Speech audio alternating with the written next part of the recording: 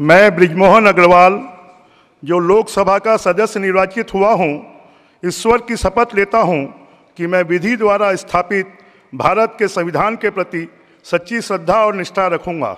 मैं भारत की प्रभुता और अखंडता अक्षुण रखूँगा तथा जिस पद को मैं ग्रहण करने वाला हूँ, उसके कर्तव्यों का श्रद्धापूर्वक निर्वहन करूँगा।